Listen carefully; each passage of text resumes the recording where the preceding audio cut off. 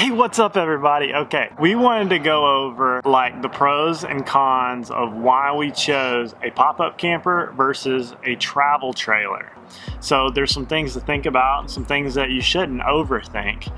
So in this video, me and her are gonna go back and forth with our thoughts on why we chose our pop-up camper versus going with the travel trailer. Did I miss anything? I don't think so. We knew we wanted to get out of tent camping. That was Yeah, for that was sure. fact. So Yes. here we go. I got Jack's Oh, got Oh, Jack's got one on the tree trunk. like this forever. Wanna stay right here with you. Wanna stay right here with you. As the rest we fall. long and hard and we went back and forth and you know uh, there was probably about you know six or seven pros and six or seven cons and it's really a matter of your lifestyle of camping. So the first one and i'm going to start with the pros because we got to start with the positive and then we'll work into the negative. So the, the, the top thing that i noticed was weight for um, you know towability for me, I had a Toyota Tacoma, still have the Toyota Tacoma, and you know, 1,500 pounds to pull um, was a lot better than like 6,000. And you know, that was the upper end of the Tacoma, and I didn't really want to go that route. Plus, I was like, well, we're going to burn more gas, so I might as well get a hotel room. we're not staying multiple days. So, can you think of anything about the weight other than your car could probably pull it too? Yeah, I you think my car could pull it. I have a small SUV, so I think it definitely could pull it. We use jacks because we can be rougher and tougher with this Yeah. car than my car. Yeah, you know, they always say they can beat mine up, which isn't fair, but you know. Just in case something happens. Yeah, yeah. So, um, you know, that was just like the, my biggest thing was weight. And and really the next one is space. You know, like we store it in the side of our house, uh, right by the peach tree, and there's not a lot of room, and you know it folds down pretty pretty uh, um, small, and we don't have to worry about clearance and things like that. Put Um, a tarp or a cover over yeah, it, and rock and roll. good. and, and and that you know that was something we had to look at too. It's kind of like when you buy a kayak, like where are you going to put it? You know that Mhm. was a big thing. We didn't have 20 feet, you know, you know to to really deal with. And I like the space inside the camper too. Because the pop up campers, you know, the beds pop out. So it gives you more living space where you have the dinette and then we have a little U shaped couch area and both those fold into bed. So we can sleep like six to eight people inside the pop up camper. Yeah, And we really like that. We've had friends come and camp with us and Mhm. you have room to move around inside Yeah. the camper. and they're actually you know like on ours, they're on the other side of the camper. You know they can bring even bring their little dog, and it really doesn't you know like affect our living. You know. So it's really like a compare and contrast of like with a travel trailer, you know, a small one, you know, two or three people can go for the Mhm. weekend, maybe You four. just have one bed, and then the Yeah. dinette might fold yeah, into a bed. versus with a pop up, you can fold that thing out and sleep four the whole beds. sleep the whole neighborhood in there. You know, so like you know that was another big thing because we wanted to take people with us. We didn't always want to go by ourselves, or if we're out there and somebody wants to come join us, Yeah. they can just cruise by, stay the night. So that was a big thing for us, and that was like number one on the list. Yeah, I think price was another big one. Yeah, price. You know, you can jump into some of these pop-ups he- around here for like 1,200 to three thousand dollars. Right. You're rocking and rolling. You're off to the mountains. You're off to the beach. You're going kayaking. Yeah. But you know, if you're going to jump into some of those nicer travel trailers, it's almost like the smaller they are, the more expensive. Like the teardrops and things like that. They're really expensive. With a pop-up, we just bought an old used one. Uh, you know, spent a little money cleaning it up, and we were off to the races. Yeah, that was a big one for Yeah. me. I didn't want to overspend on the camper.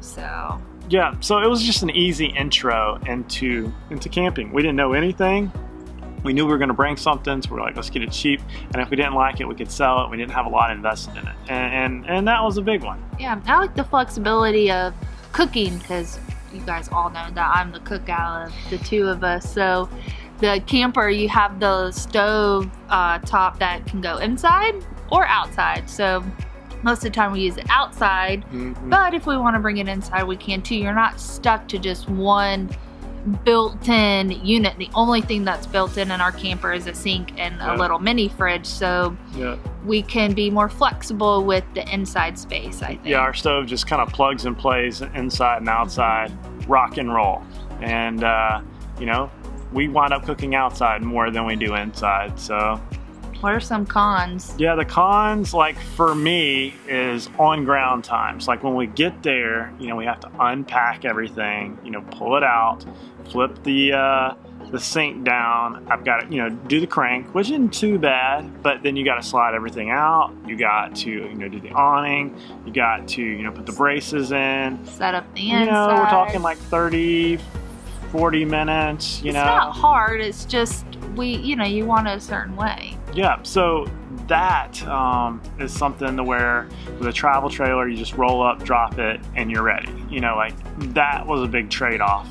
And um, it's one we're still kind of dealing with. Yeah. Because, like, if you pull over on the side of the road and you just want to um, cook a sandwich or get a sandwich or, you know, cook something or take a nap and you're at a rest stop, you can sneak back there for an hour or two.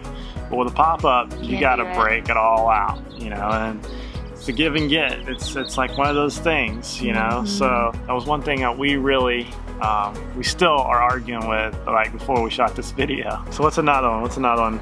Um, maintenance on it? Yeah, those pop-ups are really fragile. I mean, we've bent, bent slide out rails. Um, we've bumped it. We've the door is super fragile, and that's like a Mhm. centerpiece of it. The lift system is super fragile, and if that thing breaks, you're in for it. It's either expensive to fix or you have to fix it yourself.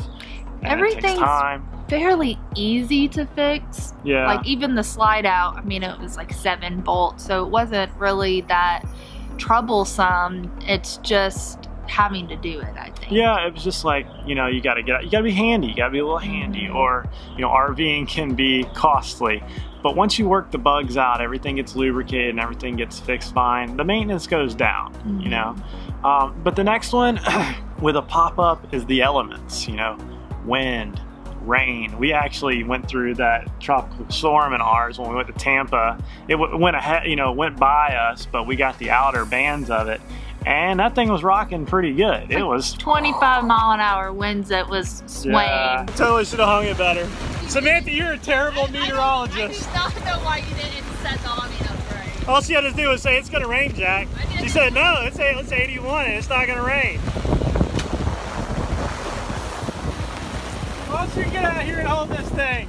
I didn't cause it. Yeah, But- we, we made it. Yeah, it was didn't, fine. It didn't leak. And it didn't damage it. Mm-mm. So like that was one thing, you know, like the elements, you know, the canvas will sweat, you know, if it's you know too hot or cold, it'll, um, you know, you got critters, you know, like they can get in there, you know, versus like a sealed travel trailer, and uh, raccoons and bears, it's a free for all, you know. I, I- We've never had critters in our camper. yeah, like I keep a little shotgun. I got a little, a little, uh, I call it a camp gun. It just kind of sits, you know, pretty much stays in the camper. And if I got a, a raccoon or a friendly bear, you know, like, hey, I got to protect the fort. You know what I mean?